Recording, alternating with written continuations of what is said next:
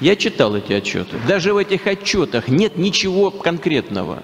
Там только предположения и выводы на основе предположений. Все.